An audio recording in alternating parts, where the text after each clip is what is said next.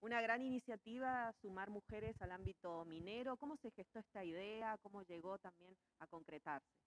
Bueno, eh, nosotros venimos trabajando en, tema de género e insertar mujeres en, la minería hace un tiempo y ahora pudimos confluir en esta iniciativa junto con, el apoyo también de las comunidades y del sindicato, que creo que me parece que es muy importante para, para que cada vez más mujeres se animen a trabajar en la industria. ¿no? Creo que eh, es un hito que, estemos haciendo un curso que sea exclusivamente para mujeres de comunidades, tenemos 21 chicas de iglesia eh, y me parece que es un gran mensaje ¿no? hacia lo que se viene, así que muy contentos de, poder estar haciendo esto. es como un primer paso, después buscarán también sumar eh, mujeres a otras actividades de la minería.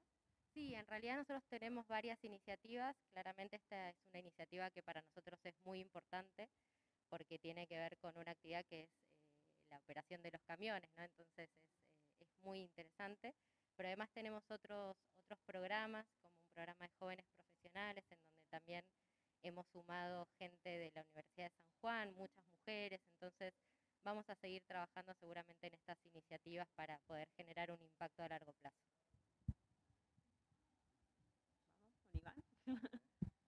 bueno, Iván, desde el gremio, ¿cómo tomaron también esta idea? ¿Cómo, se gestó este trabajo en conjunto para poder concretarlo?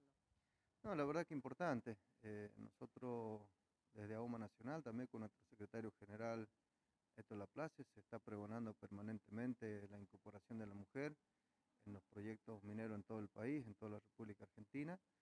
Y bueno, eh, gracias y por suerte a, los directivos de la empresa Barrick, este, se tomó una iniciativa acá en San Juan de incorporar a chicas en el sector, que nos parece extraordinario y, como decía recién Vanina, este, que sea el pie inicial para futuros proyectos en la provincia.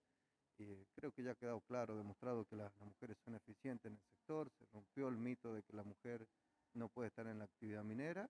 Y bueno, ojalá que esto sea una puerta eh, hacia el futuro, no solamente para los proyectos metalíferos, sino para los otros sectores y las otras industria de la actividad minera, como por ejemplo el sector calero, el cemento. Este, creo que ya han dado muestra de que tienen la capacidad para poder estar y poder incorporarse